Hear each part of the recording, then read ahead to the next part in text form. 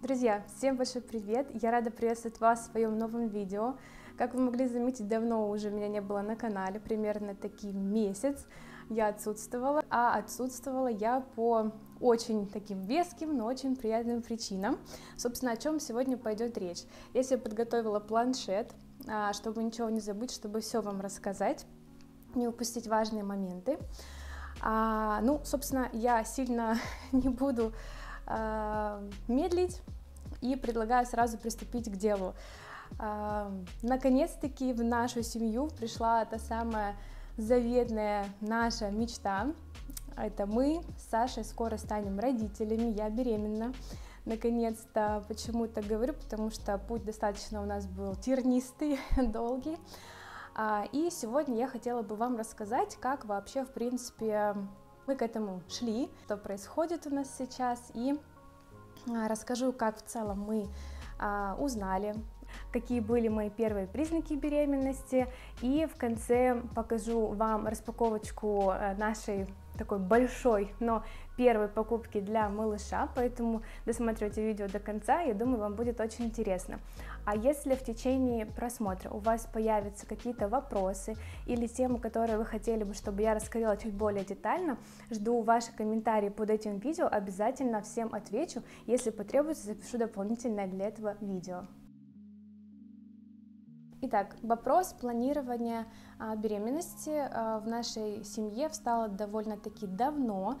Мы с Сашей уже очень много лет вместе, мы вместе со школы, и, в принципе, еще в том возрасте мы знали, мы понимали, что а, мы хотим семью, мы хотим детей, поэтому мы понимали, что там примерно в будущем оно произойдет, но уже тогда где-то в голове, где-то внутри души мы этого хотели, мы а, этого ждали момента, когда мы там созреем, когда мы будем к этому готовы. Поэтому, в принципе, когда мы готовились к свадьбе, мы уже потихонечку начали, и в том числе, готовиться к планированию малыша, а именно я сходила на, я регулярно хожу на осмотр плановых к своему гинекологу, и когда встал вопрос о том, что мы наконец-таки готовы, а, я об этом сообщила своему гинекологу, и мне назначили ну, какие-то минимальный список анализов, а, гинекологических, и нам назначили пропивать фолиевую кислоту за три месяца до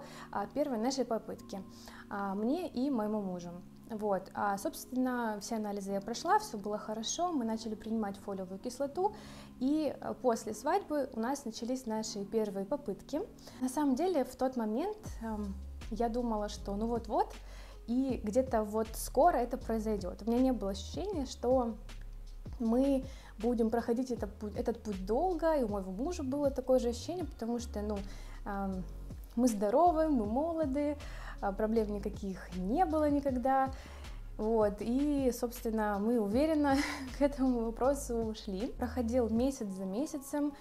Я продолжала принимать фолиевую кислоту, так же, как и мой муж, и постепенно с каждым месяцем наш энтузиазм утихал, и мы уже немножко, знаете, так, ну не руки отпускали, но в большей степени, наверное, просто, ну такие, ну ладно, у нас каждый месяц это э, как работа с чистого листа, поэтому мы как бы сильно не расстраивались. Да, признаюсь, там, я как девочка, наверное, чуть больше это воспринимала на свой счет, но э, по итогу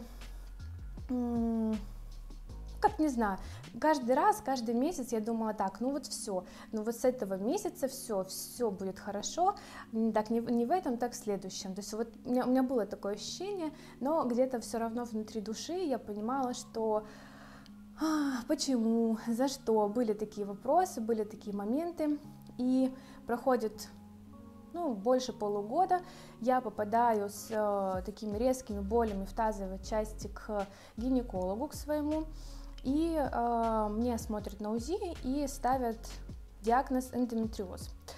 Э, тогда я с этим столкнулась первый раз в жизни, ранее никогда мне об этом никто не говорил, никогда мне его не ставил, хотя регулярно проходила все обследования. И, э, честно признаться, я в этот момент была очень огорчена, но по-боевому настроена, потому что это отчасти появился такой, знаете, ответ на вопрос, ну почему же, возможно, у нас не получалось, и если вот сейчас что-то там подправить, так сказать, то вот наконец-таки, возможно, все получится. И э, мне назначают гормонотерапию. Э, я так понимаю, что, как правило, в основном таким образом пытаются этот вопрос решить. Как уже потом со временем выяснилось, что как таковой эндометриоз, он э, ну, не лечится, и эндометриоз бывает разный, степени его бывают разные, и в моем случае мне не говорили, что что-то прям критичное, но мне сказали, что, ну да, это может влиять. Мне назначили вот такой огромный список сдать анализов на разные гормоны, на витамины, на все-все-все. Я все сдала и выяснилось, что у меня повышен немного тестостерон, а, у меня идет несоответствие, по-моему, не помню каких гормонов, но а, что идет несоответствие определенных гормонов и мне необходимо пройти курс гормонотерапии. Ну, если кто-то из вас уже сталкивался, то вы, наверное, понимаете, о чем я сейчас расскажу. А именно а, я проходила лечение, то есть мне доктор сказал, готовься, что год, год ты будешь на терапии. Естественно, в этот момент э, мое эмоциональное состояние дало вообще полный а, сбой, потому что ну, я к этому не была готова абсолютно. И несмотря на это, я понимала, что надо, значит надо, значит необходимо приступать и э, Первое, первый этап моей гормонотерапии это был прием противозачаточных препаратов. А, противозачаточный препарат я пила несколько месяцев. А, Мое состояние физическое с каждым месяцем ухудшалось. А, честно признаться, это было ужасно. Я за это время успела и набрать вес, тем условием, что я очень мало кушала, потому что я просто не могла кушать, потому что меня постоянно тошнило от этих препаратов. Я ранее никогда в жизни этого не принимала. Даже несмотря на то, что я сдала все анализы, мне прописали все препараты относительно моих анализов, но все же чувствовала я себя очень плохо и ждала уже, когда поскорее наконец-таки это все закончится. А, ну, естественно, на этапе а, гормонотерапии, а именно предзачаточных препаратов, забеременеть женщина не может. То есть я понимала, что мы на какое-то время берем паузу. И несколько месяцев по окончанию приема противозачаточных препаратов. А, мне назначили также вновь анализы, также назначили сдать анализы моему мужу, и э, если все там хорошо, если есть какая-то положительная динамика, то мне назначат, опять же, гормонотерапию по выходу из а, противозачаточных препаратов, потому что просто так прерывать их нельзя. В итоге все у нас было с позитивной динамикой, и у мужа все тоже было отлично. И мне назначили выход из противозачаточных препаратов другим гормоном. И я еще на протяжении, наверное, полугода, может даже чуть побольше, принимала другие гормональные препараты, а именно гормон прогестерон. Я думаю, многие понимают, о чем я сейчас говорю. Названием препаратов я оставлять не буду, потому что не вижу в этом никакого смысла. И а, уже непосредственно с приемом прогестерона уже можно было начинать новые попытки. Как сказал мне мой доктор, что а, 99% что ну, край через полгода а, у вас все получится, потому что ну, нету предпосылок того, чтобы у вас не получилось. Проходит месяц за месяцем. А, я в таком на эмоциональном подъеме, что вот, наконец-то, скоро все получится, что все в порядке. И единственным моментом было то, что мое физическое состояние все ухудшалось и ухудшалось.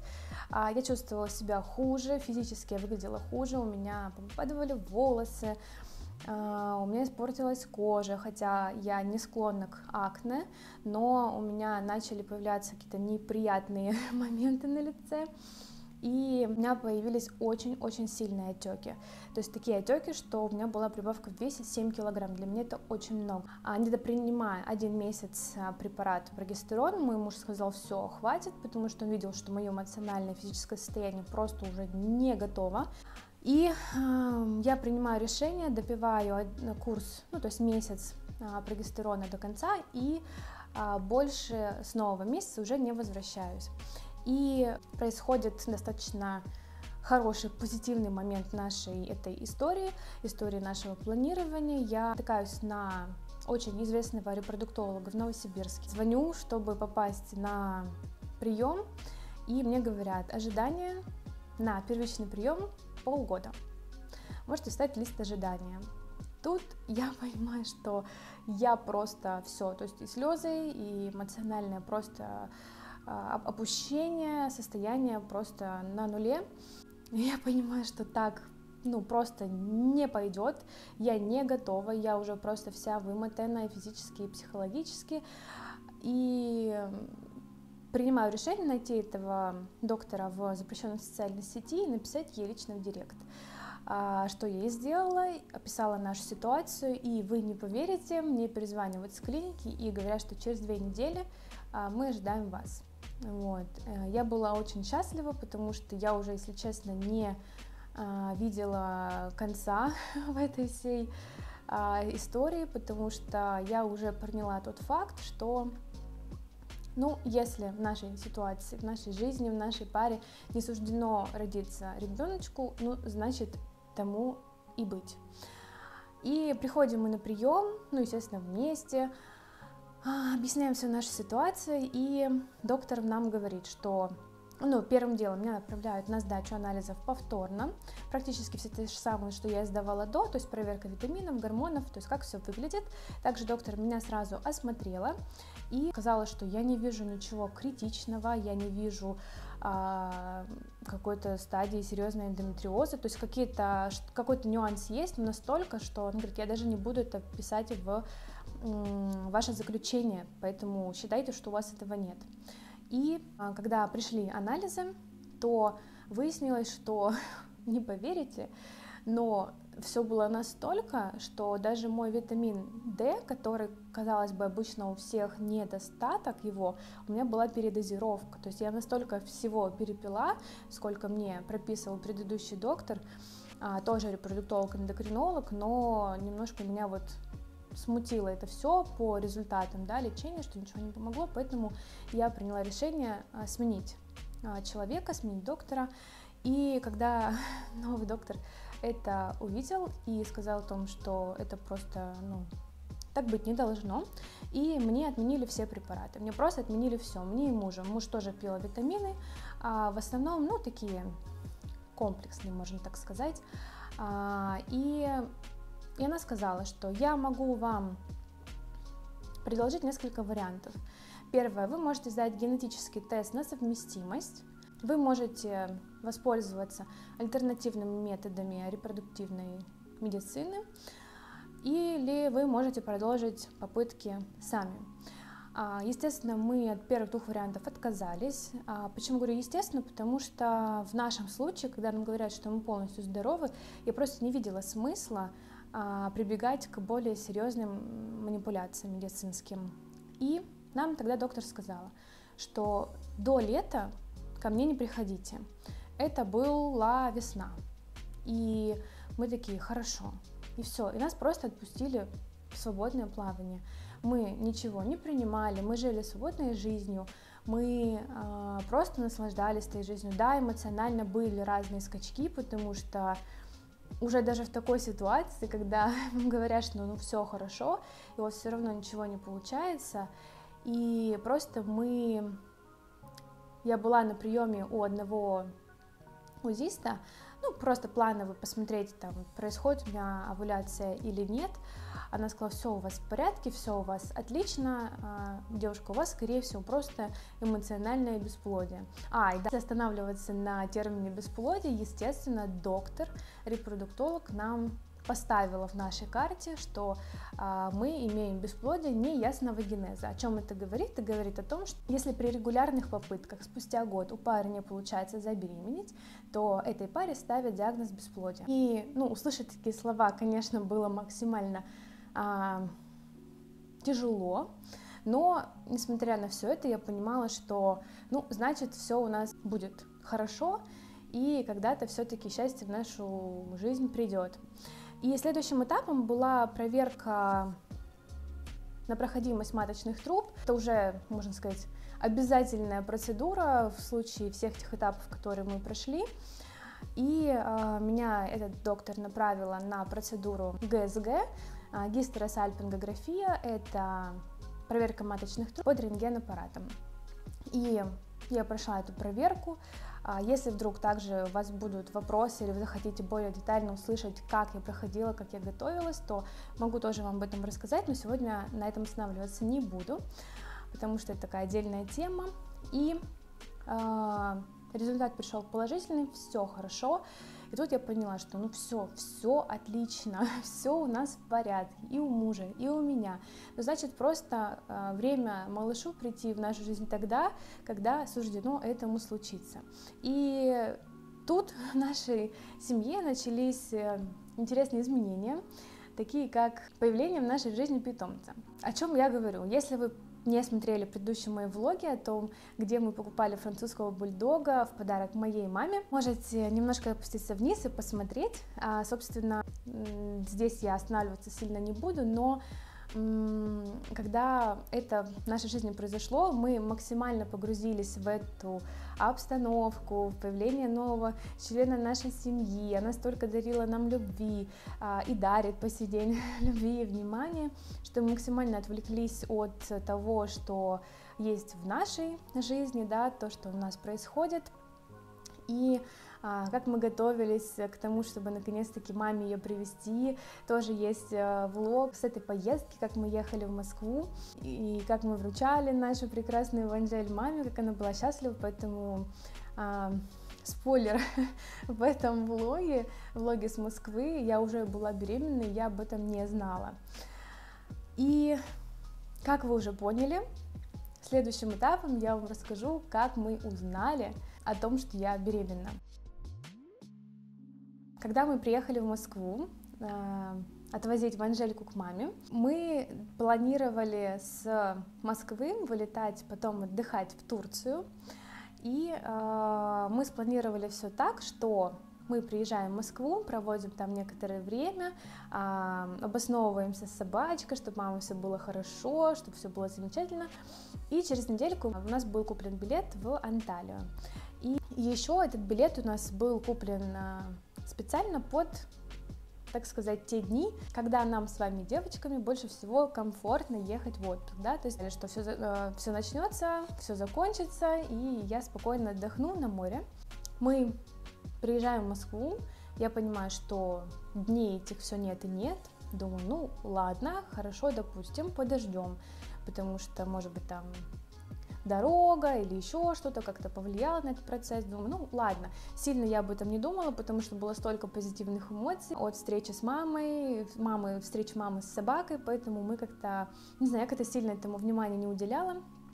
И а, проходит неделя, я понимаю, что у меня уже должно было все закончиться, а у меня еще даже ничего не началось. Я такая думаю, так, кстати, моя первая мысль. Вот если это еще и все затянулось до того, что это все начнется в Турции, в отпуске, то все, то я эмоционально точно уже на нуле, и все, я опускаю руки и не знаю, что со мной будет. Короче, я думала об этом, то вот-вот там все задерживается и задерживается из-за каких-то непонятных причин, но не той самой. Вот мы вылетаем в Турцию, у меня потягивает живот, ну, все мы, девочки, наверное, понимаете, о чем я говорю, а, примерно так, как в первый день а, наших дней. И а, я думаю, ну вот-вот, значит, начнутся. Ну вот, я сейчас буду всю неделю мучиться на море, вместо того, чтобы отдыхать, плавать и веселиться. Тут я говорю сестре о том, что вот так-то, так-то, какая-то странная ерунда, болит. Написала немножко, что было до. Она мне говорит, ты тест сделала? Я говорю, нет. Она говорит, почему? Э, я, чтобы вы понимали, за эти два, там, пусть будет с половиной года, я точно уже не помню, сделала просто миллион тестов на беременность. Естественно, все они были отрицательные, большинство из них было, да не большинство, все, все они были за э, до дня X, естественно, да, я не дожидалась, я находила кучу признаков в себе, кучу всего, чего на самом деле не было. А может что-то и было, но не совсем то, что нам нужно. И она говорит, сделай тест. Я говорю, да давай еще подождем, ну у меня живот болит, ну по-любому сейчас начнутся. Проходит день, проходит два. Она говорит, так, встала и пошла за тестом. А, сходили мы с мужем, купили тест, мне говорят, вам несколько? Мы такие, не, нам хватит одного.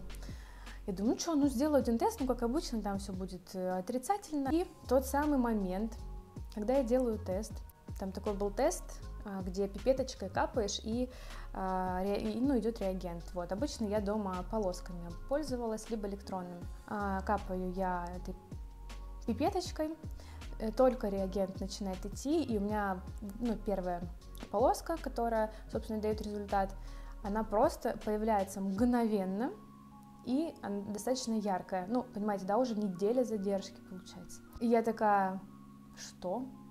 Первая моя реакция, я просто была в шоке. Я не сняла этот, к сожалению, момент, потому что, как вы понимаете, я просто не была к этому готова. Я просто не ожидала, я не ждала, я ждала, когда придут эти дни. Я злилась, что м-м, то вот они не приходят, испортят мне отпуск. И тут просто две полоски. Я просто стою в шоке. Сестра начинает прыгать, радоваться. Я понимаю, что я просто в ступоре. Хожу к мужу, показываю. Он начинает радоваться, меня обнимать. Я стою просто в шоке. Я такая, что со мной происходит? А, я не понимала, что конкретно со мной происходит, я понимала, что что-то происходит, а что конкретно я просто не могла в это поверить.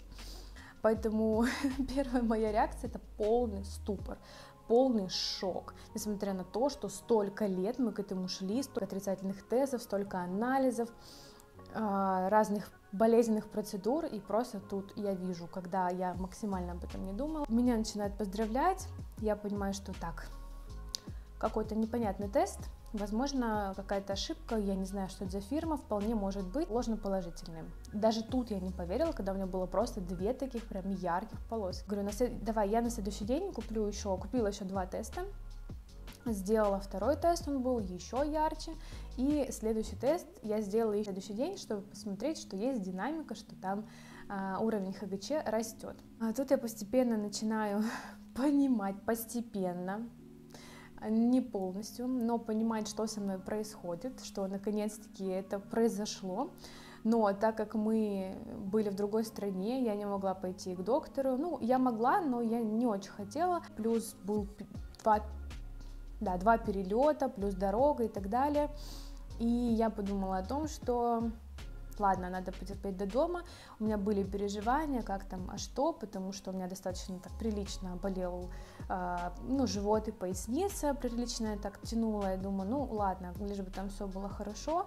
По прилету домой обязательно, я уже находясь там в Турции, я записалась на УЗИ и по прилету пошла. И, собственно, не дожидаясь УЗИ, уже многим нашим родным мы рассказали, там, мамам, папам, мы не выдержали, потому что эту новость ждали просто все, все наше окружение, все знали, через что мы проходим, потому что, ну, сложно это скрывать. И э, так мы рассказали нашим родственникам, это тоже я не успела снять, потому что я вообще была непонятно где, в каком-то космосе. По прилету домой, по прилету с Анталии в Новосибирск, я пошла на УЗИ, где мне подтвердили, что все у вас на месте, все хорошо. Я, естественно, сдала сразу ХГЧ, а у меня уже был большой показатель очень, по-моему, 15 тысяч единиц, если я не ошибаюсь. И с этого момента все началось.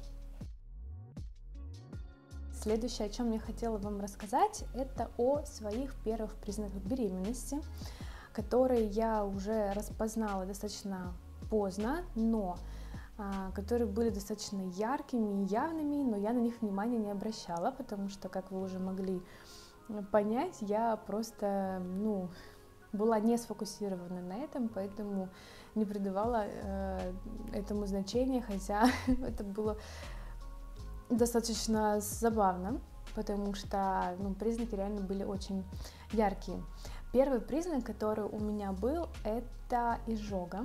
И я человек, который не склонный к изжоге. А, ранее у меня ее практически никогда не бывало, а тут я просто просыпаюсь ночью от того, что это мы еще только ехали в Москву.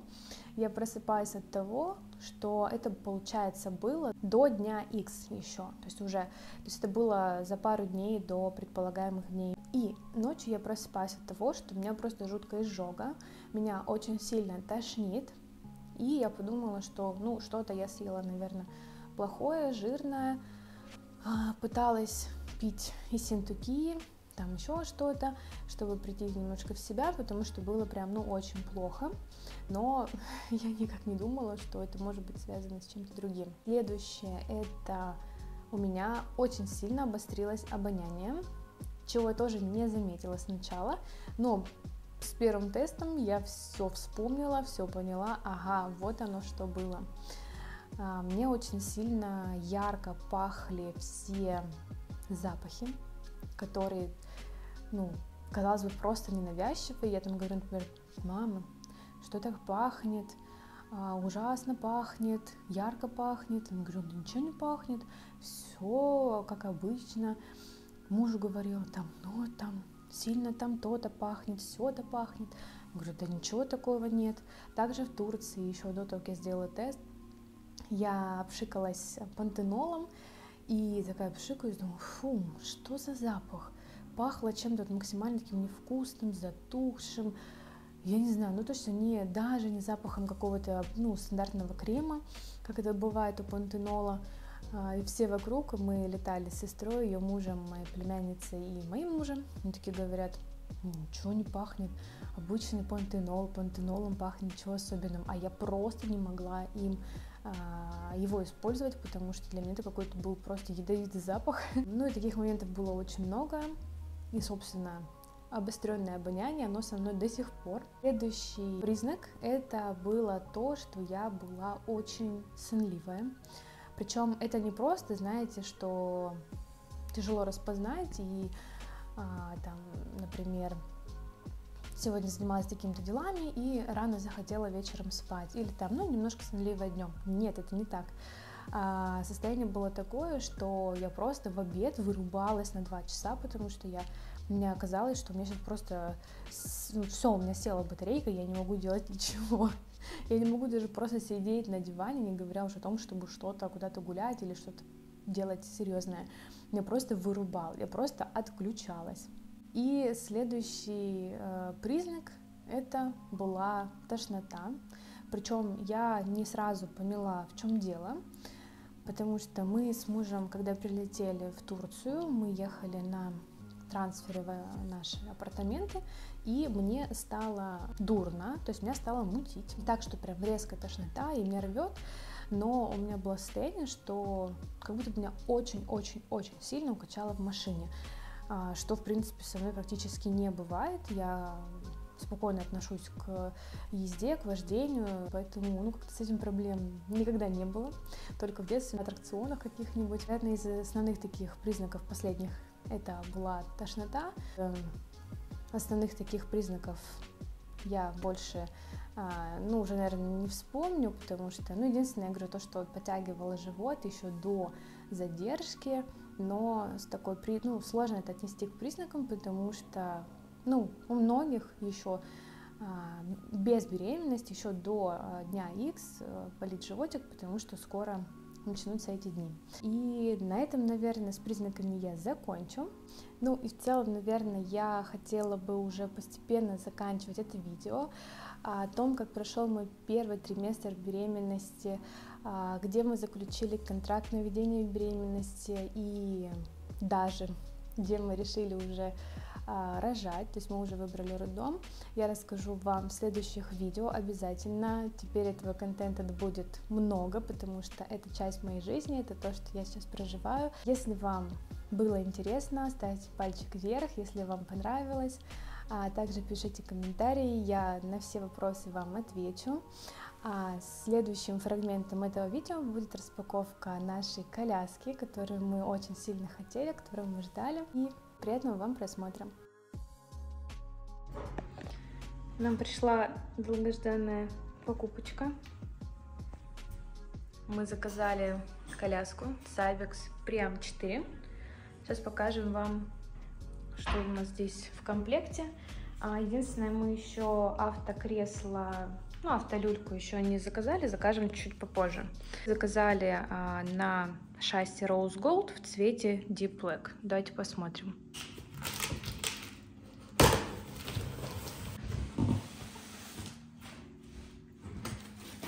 Так. Что тут у нас? Нам первым делом надо будет сначала соберем. О, какие большие, мощные. Ты чё?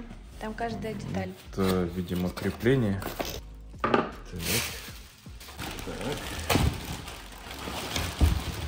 Так, видимо.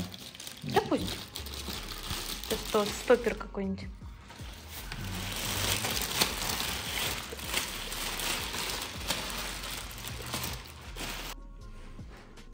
Ну, красота, конечно. Так, ну давай колесики приделать. Этот перед. Просто вставляй. Все, готово. Все просто, да, второй.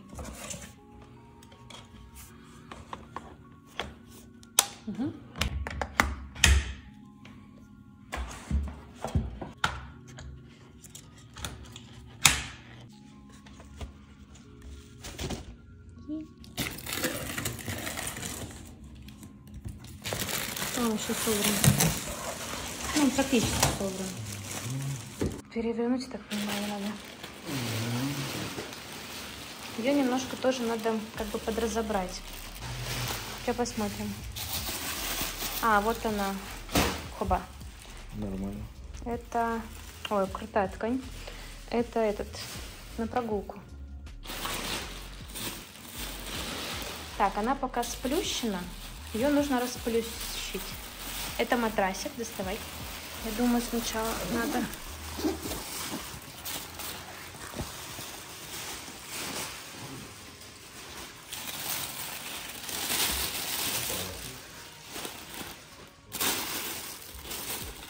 Это под голову вот сюда.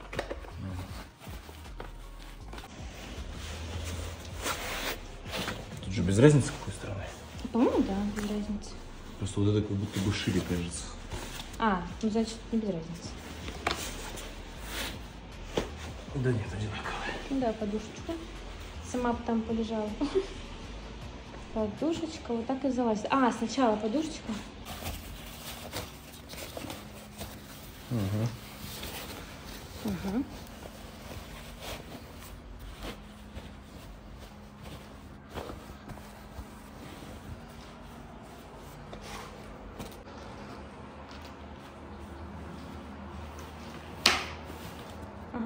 Упора. Ага.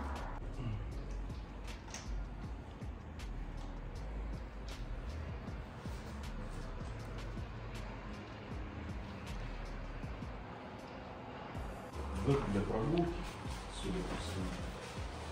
Да? Не знаю.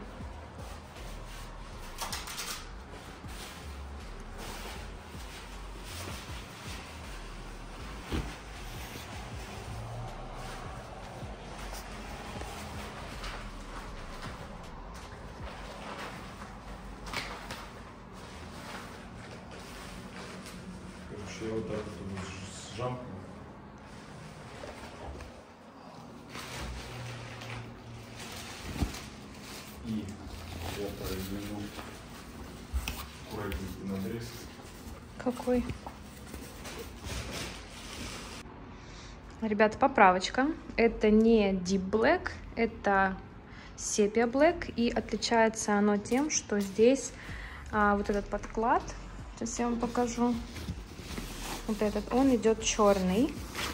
А Deep Black и Onyx Black, они идут такого, ну, серо-голубого оттенка.